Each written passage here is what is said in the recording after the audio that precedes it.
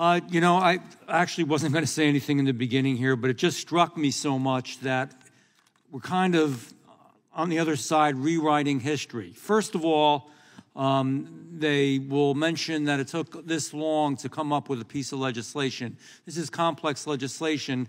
During the time they have the majority in the House, in the Senate, and the presidency, um, we didn't see anything really substantive done to stop the fentanyl flow. It increased. We didn't see anything really substantively done to have borders. Ladies and gentlemen, let's tell the truth.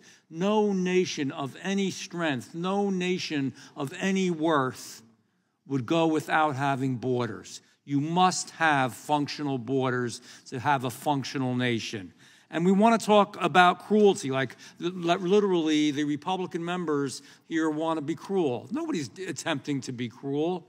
It's cruel what we're doing. It's cruel that babies are thrown over the border hoping that something will be done with them and they can just get them across so the cartel can make money from the people who have that done. It's cruel what we're doing to Americans because we're introducing the cartel into our way of life. You've heard many individuals now comment that one our next war as it was is going to be with the cartels. They shouldn't be in America. When I was in Yuma, I visited, you know, many different areas at the border, but when I was in Yuma, the cartels had so little respect for the inspection that was going on that we were part of that they were doing wheelies and circles around us. They don't respect the United States.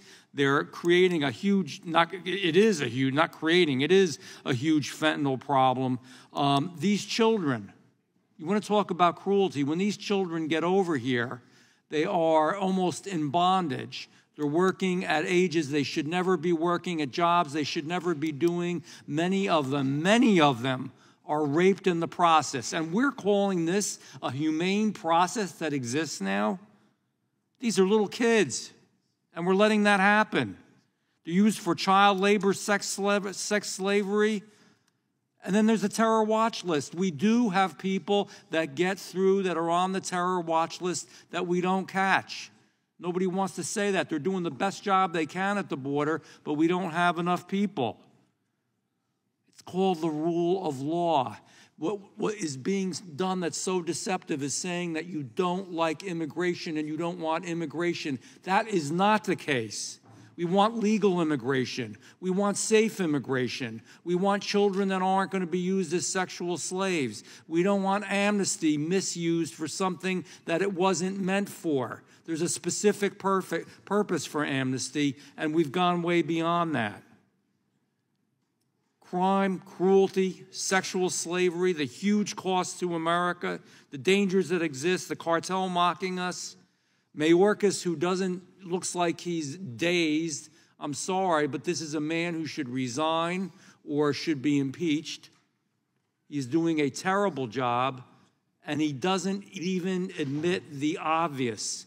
It's so obvious what's happening at our border. It's so terrible what's happening at our border. It's so hurtful to Americans and to the people that are crossing, and most of all to the children. And Mayorkas says everything is fine. You show him a picture, you show him a vision of what's going on, you show him on, on television or on a video, and he says everything's okay. Ladies and gentlemen, it's not okay. That's why we're here today. And it is a difficult issue, and there aren't easy answers. But I think you find the answers with the rule of law. I find you have the answers when you seek compassion for children and young people that are being abused, and for adults, by the way, that are being abused. And I think you find the answer when you have an organized system in which you redo legal, that's the word, legal immigration. Don't let them confuse it, confuse you. There's legal and there's illegal. We don't we shouldn't have and we shouldn't want illegal immigration because it's causing all these problems. Legal immigration is a wonderful thing. We've all gone through that process together. So let's tell the truth. Let's get down to the nitty gritty. Let's really try to fix the thing and not just try to throw out these, you know, words that really don't mean anything to anybody because they're not honest and they're not full of integrity in, in, in what they say. Nobody here wants to hurt anybody, but we do want a strong America and a strong border. Thank you, Mr. Chairman.